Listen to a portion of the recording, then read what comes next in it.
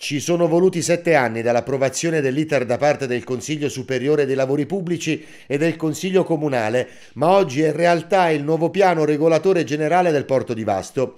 Il primo risale al 1969, 45 anni fa, una giornata storica per la città e per l'Abruzzo. Il porto di Punta Penna infatti è pronto a rivestire un ruolo strategico nell'Adriatico ma anche in chiave intercontinentale, soprattutto per i movimenti commerciali, ruolo evidenziato anche dai tecnici che hanno sottolineato gli aspetti relativi alla sicurezza dell'accesso alle banchine, l'aumento dei fondali e delle aree di manovra, oltre che quelle di stoccaggio merci, i raccordi con la ferrovia e la riduzione della manutenzione.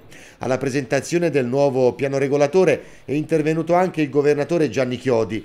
Grazie ad un'oculata amministrazione, ha sottolineato, la Regione sarà in grado di erogare come premio per il risanamento addirittura 60 milioni di euro l'anno per la realizzazione di questo porto, che prevede una spesa finale di circa 120 milioni di euro. Ma la buona notizia è che l'Abruzzo, a partire dal 2015, avrà dotazioni finanziarie senza mettere le mani nelle tasche dei cittadini e senza fare ulteriore debito, che saranno pari a 60 milioni di euro l'anno in più.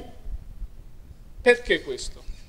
Perché avremo il premio del risanamento, avremo finito a pagare le cartolarizzazioni che furono fatte nel 2005, una quota delle cartolarizzazioni che furono fatte per i debiti disastrosi della sanità e come una famiglia che smette di dover pagare una rata di mutuo si troverà a poter beneficiare di 60 milioni di euro l'anno in più, il premio del risanamento. Questo permetterà di investire e la scommessa è di investire sui sistemi, ovviamente, che determineranno un rafforzamento del nostro sistema produttivo. Perché?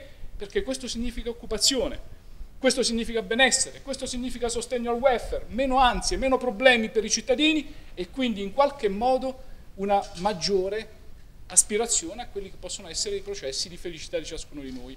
Questa è la scommessa e questa sulla quale si impegna questa parte politica